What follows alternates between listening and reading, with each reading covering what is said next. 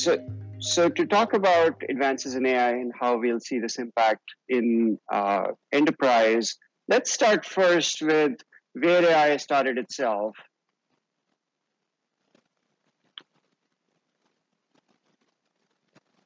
And so, uh, you know, let's go back a decade ago into, you know, this thing called TikTok, which, you know, of course, most recently we hear of it as a current, as an app. Uh, it, its name comes from Frank Baum's Wizard of Oz series, in fact, Ozma of Oz back in 1907. And uh, in fact, the name term robot came from RUR, a 1920 play back in uh, you know Russia. Moving moving ahead a little bit, you know, talking about AI, of course, the Turing tests come to mind. It was originally called an imitation game where you know we were trying to compare, look at two different people and identify who is who. In this case, it then it got morphed into could you have a computer and a person where it was hard for a person C to actually say who between those two is the computer and who is the real person. Of course, moving ahead, uh, you know, many of you might be familiar with the movie Machina, and uh, you know this is just Alex Garland's take on the Turing test itself, and we see changes like this happening over time, of course. Uh, continuing ahead in the 1950s, this is where a lot of progress happened in AI, especially uh, in terms of uh, you know how people were thinking of it conceptually. It was a very you know the Dartmouth conference was very influential driven by Marvin Minsky and John McCarthy, it set this direction of where AI was going for the next few decades. In fact, the term AI itself was coined for this conference by John McCarthy.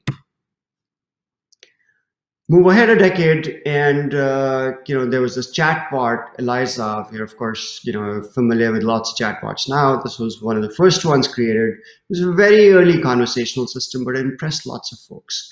It was really meant to be very superficial by Dr. Weizenbaum when he created this, but it ended up feeling very real, you know, especially uh, the doctor script that you see here, where people, uh, you know, it's posed as a psychotherapist.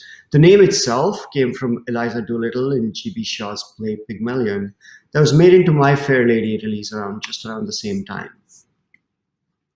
Uh, so that's a clip from uh, My Fair Lady. If, if the movie. Uh, in after the Dendral algorithm. Earliest example of what's called expert system. This automated the behavior of organic. The idea was that expert systems that an expert created a knowledge base that can be leveraged by an inference engine, typically a simple rules engine, that could answer user queries. The work on dendral and MYCIN enshrined expert systems as the leading area of AI research over the next couple of decades. So let's move ahead, uh, you know, moving from there much closer, a decade ago, last decade, and we see things changing a fair bit. You, you know, while the core idea of neural networks dates back to the 1940s, back in the 60s, Minsky and Papert wrote a book on connectionism in 1969 and they critiqued this area, and that really pushed this to the background while expert systems gained prominence. It wasn't until the 80s, with new ideas from John Hopfield, David Rumelhart, that led to its resurgence. Of course, it still took a few more decades to really come to the forefront as what it's known now, often uh, deep learning. And the last decade has really seen a huge uptick in changes in what what's happened here. So um, let's look at what it's changed and let's look at what it's brought for us over those, these years. So the first part, of course, is, you know, it's really learned, helped us learn to see. And if you think about back in 2011, we had, uh, you know, if you had these models that were trying to see and understand what's there in a, in a picture, there were still huge errors, you know, 26% errors versus humans only have percent errors for those kind of images. And, uh, you know, that's sort of like seeing this blurry image, but we've gone from that to this, where we can actually see this very, very clearly. And, uh, you know, going from that to this, this crazy change, if you remember in the evolutionary biology, the time when animals first evolved, uh, it was a time of great change. We saw huge evolution with lots and lots of new species being created. It had a dramatic effect. And that's the same kind of thing that we're seeing in machines in so many different ways. What we can accomplish, it's just very, very exciting. let me just give you one example of you know what it's accomplished, of course, in terms of real products, what it's allowed us to do. Uh, you know, Google Photo Photos comes up as a very common example where uh, you know, now there used to be a time where we had to label all of them ourselves. Now all of that is picture. You take a picture, it figures out what's in there. You can do searches for dogs in this case. It can recognize glaciers, it can recognize all kinds of things. And uh, you know, then the next part for us, of course, as a sensor sensory thing, is just learning to hear. And this again is something that it's made a lot of progress on. Uh, deep learning has really, really helped. In fact, one year in 2012, the move to deep learning from the prior techniques was almost like an improvement of 20 years of research in this area, talking to researchers in that field. And that, that's, of course, led to things like us being able to call uh, or ask instead of having to type everything. And uh, in uh, the flip side of it in terms of you know the speech generation part uh, and understanding we can do captioning etc for example in this case uh, you might be able to see this uh, you know on your phone you have videos let's say you can't hear your hard of hearing or you're in a place where you can't um, have the audio on. You can see this in a caption uh, very very easily as well. Uh, and this is happening right on the phone in this particular example the um, another example is you know about understanding language and uh, you know going from the vision to just converting speech to language itself. Of course, language plays a key role in us and in in what we do. And again, over the last couple of years, we are seeing. Oops and over the last couple of years, we've seen huge progress in uh, you know what we see with uh, reading comprehension and other techniques like this. Uh, most recently, of course, there's a lot of talk about this model called GPT-3 that can do all kinds of things in terms of conversational stuff, etc. Uh, this particular data set comes from uh, Stanford. There's a question answering data set, basically, where the human performance, as you can see, is listed here. It started in 2018. And just in a couple of years, we've seen things progress from going past human performance to way better than that. So, you know, what this says basically is uh, if I had to take a test there uh, with which needed reading comprehension, probably, you know, at least as well or perhaps better. Um, of course, the tests themselves aren't going to be changing anytime soon, and we'll still be taking them. But this is just just shows how far we've come with computers, with AI in lots of different ways. Of course, it has very real implications and some exciting, you know, from perspective search, of course. If you uh, look at Google, and this is an example, pre-BERT and after BERT, this is uh, a model that really changed the game in terms of language understanding. Before we had this model, uh, and you can see that it matches the keywords but doesn't quite get the context fully whereas after it really gets the entire sentence and can understand what's going on. Of course it's applicable in lots of areas. Uh, one of the areas that we see it being applied very much now is uh, the assistants both uh, you know alexa or Amazon Echoes or the Google Assistant uh, in Google Homes. And th this is an area that we we expect to continue to uh, rapidly progress uh, because of advances in many many of these different areas, including speech, uh, you know, natural language, and all of these together.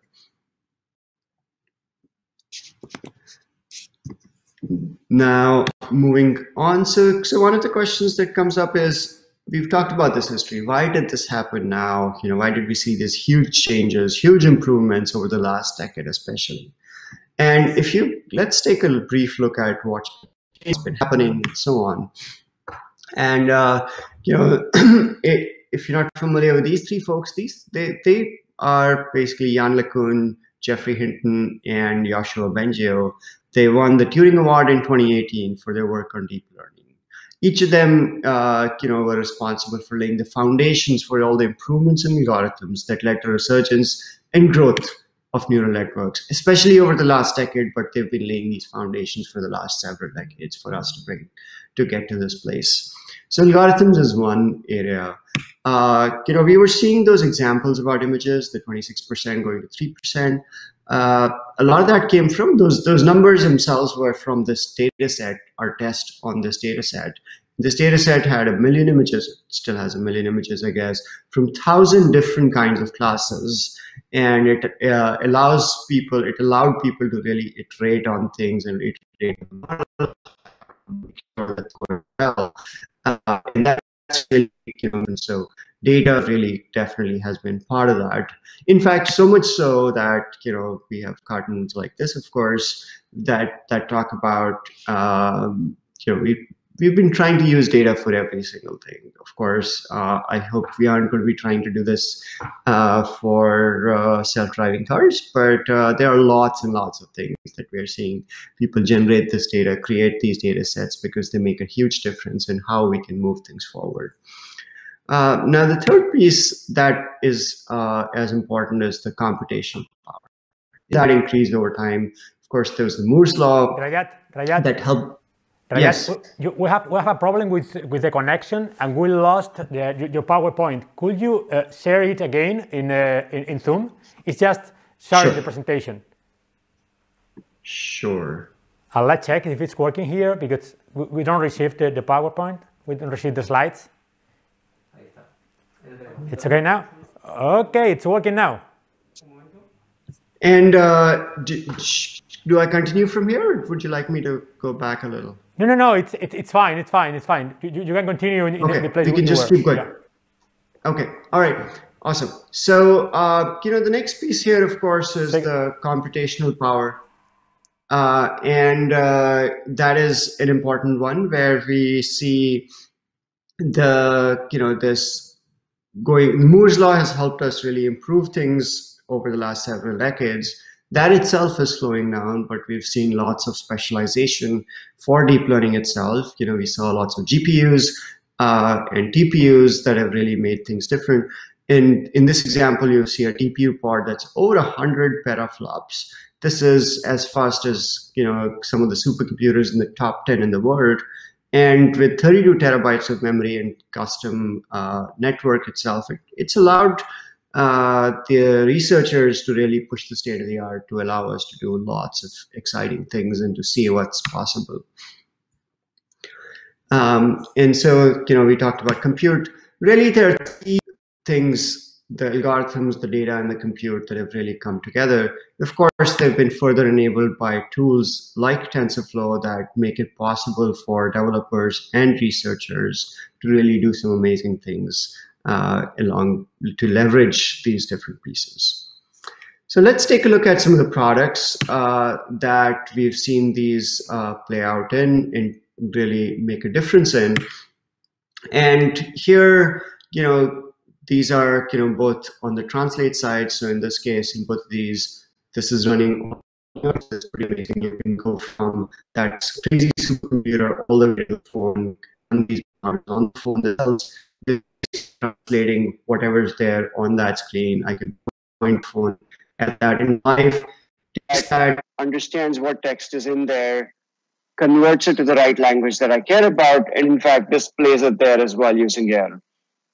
Uh, in the, next example there, you see it's overlaid on any app that that you have text on. It can just convert things right away, right there. And uh, you know, here's another example. That's a photo booth that was launched a couple of years ago. In this case, it's recognizing when everybody is actually, you know, it can take a picture automatically when everybody is smiling, everybody's eyes are open. So it's not, uh, you don't have to wait and you don't have to judge and get the right thing. It's just going to figure that out automatically. Uh, here's, uh, you know, some of the hardware that like Google last year and uh, you know really every one of them in many different ways the assistants of course for voice for speech understanding uh, the, the, phones for their camera for all kinds of apps And we AI is being used in all of these in many, many, many different ways. Moving on to healthcare, which is of course something near and dear to us in lots of ways.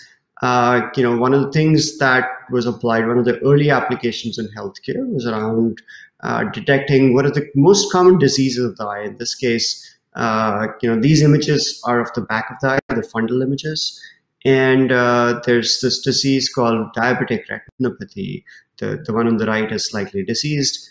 And uh, it's hard to, you know, for a doctor, of course, they can look at it, they know these dark spotches are there, and they can help it recognize that.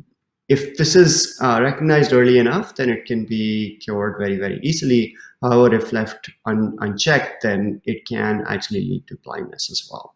And given that there are so many different places in the world don't have access to the same doctors and stuff, this is and, bring that same uh, expertise and to, to many different parts of the world as well.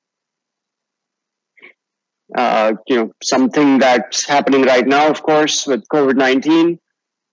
Uh, there are lots of, there's lots of research happening, and there are lots of companies that are helping both on the identification side, in this case, from uh, x rays being able to identify that there's a high risk of COVID 19 uh, but there's lots of other work happening also in terms of the vaccine finding and uh, building new medicine as well.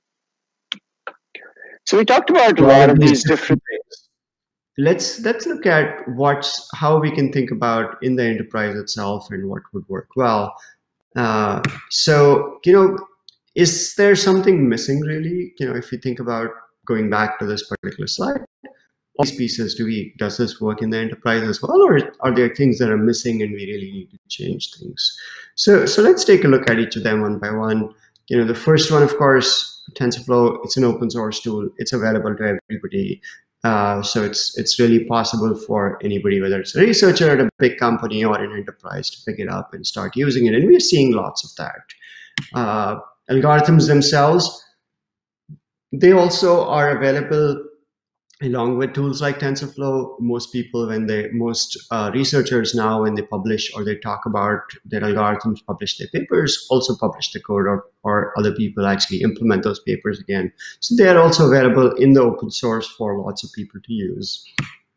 Uh, compute itself, of course, not everybody has access to the same kind of supercomputer, but you can rent it out. So with public clouds like uh, AWS, Google, or Azure, you really have access. Anybody out there now has access to the same kind of compute that's available to these higher to the, these big companies, and they can do some interesting and exciting things with those. Um,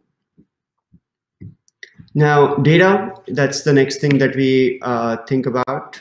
And uh, so we do have lots of data. In fact, you know, with big things, there's uh, uh, probably lots of other talks about how people are collecting the data and how people can leverage this more effectively as well. Uh, in you know, even though sometimes it might feel like oh, there's just too much data and how do we manage it, that has made a lot of progress over the last decade as well. And so uh, there are lots of tools around managing data lakes, managing data warehouses. There's lots of ways that we can manage and organize the data that we have and keep it clean. And so we can, we have uh, all the pieces really coming together in terms of uh, that we see here in terms of making AI available in the enterprise and making it useful. Is there something else we need to leverage AI? Well, yes, we do need people. Not everyone can use to put all this together. There, there just aren't enough data scientists to build everything we would like to do.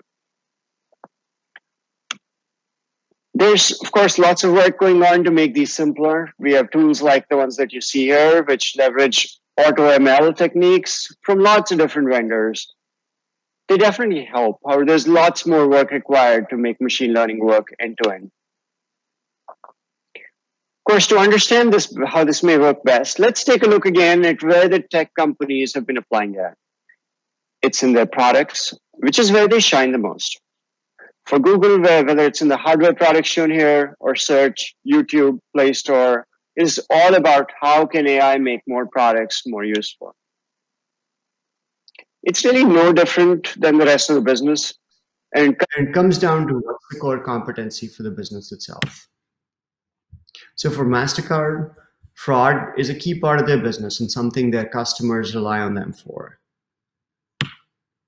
Nike's marketing prowess is something it really focuses on and continues to leverage AI to improve its direct to consumer outreach. So when we think about uh, AI and how we're going to leverage it, what we're going to do about it in the enterprise, we need to think about the same build versus buy decisions that we used to think about for software, for example. For core areas, building the competency in-house is extremely important. For example, for MasterCard, it needs to build the, and own the best fraud detection systems. However, for many of the other areas, it can buy pre-built solutions. Example, for marketing, it may be able to rely on tools from other vendors. Whereas in the case of Nike, their core competency is marketing. Hence, they should double down on the internal efforts, even within external tools. This is the same when it comes to AI. It is important to leverage the best technology for the core competency not to outsource it. Over the last few years, we've seen a lot of the B2C products start to integrate AI to make them better. And we saw some of the examples prior in earlier in the stock itself. Uh, and this is because of a number of reasons. So let's start with the first one, data, of course. B2C companies often have a lot more data because they have lots, lots of users. So they have a lot more data to start with. Uh, the good thing about you know image data sets that we were talking about, some examples that we saw, especially for B2C companies, is that learning is very easily transferred from one to another. For example, model trained by top companies like Google or Facebook can be leveraged by many other companies without having to do the same kind of work over and over again. And the same kind of thing is true for language as well. You know, English or Spanish are really the same. Whoever speaks it and whatever you want to do with it. This is an example of a consumer product, photos management software, going through some iterations. Picasa started as a desktop application. While it moved to cloud, Flickr did much better in that space. It did, you know, as it uh, built something ground up there. Of course, over the last few years, we've seen Google Photos become very popular, primarily by starting with leveraging machine learning for auto labeling and showing this these results to you, and makes a huge difference in how we interact with the application. Looking at the business to business side of things, of course, I, I, believe we'll see the same kind of thing with B2B products over this decade. Similar to what we saw in the move from the on-prem offerings to, to software as a service offerings. In fact, given it's a lot easier to build and integrate AI in the cloud, we see it showing up much quicker in these software as a service products. We'll also see a lot more technology startups rebuilding some of these applications from the ground up to leverage AI in new and interesting ways. Let's take a couple of examples. So um, on the HR software side, we saw you know decades ago, PeopleSoft was sort of the you know the software that you installed, that you ran, and stuff. And over time, again, while it's tried to move to the cloud, offer a cloud service, etc., Workday came up and really leveraged that move to the cloud itself. And more recently, now we're seeing companies like Eightfold uh, disrupt that space in very different ways, leveraging AI in rethinking what can be offered in that space itself. Another example is uh, CRM. You know, Siebel is of course very well known for CRM now. Uh, in fact, both PeopleSoft and Siebel are owned by Oracle. But the CRM space was disrupted by Salesforce, which came in as a cloud provider, which came in with these offerings directly in the cloud itself, and were able to offer this. And so, you know, look forward to seeing what's next there. How do people disrupt that? It, leveraging AI from the ground up. We expect to see a lot more of this in lots of different ways in uh, many of these areas as well. Um, you know, I would love to leave you with uh, something here. You know, while it's tempting to expect AI to solve all our problems, I want to leave you with this last message on this. You know, AI makes computers a lot like us, a lot more like us in more ways than we like you so while we would want it to solve our problems, there are lots of other interesting ones that come with it. That's it. Thank you.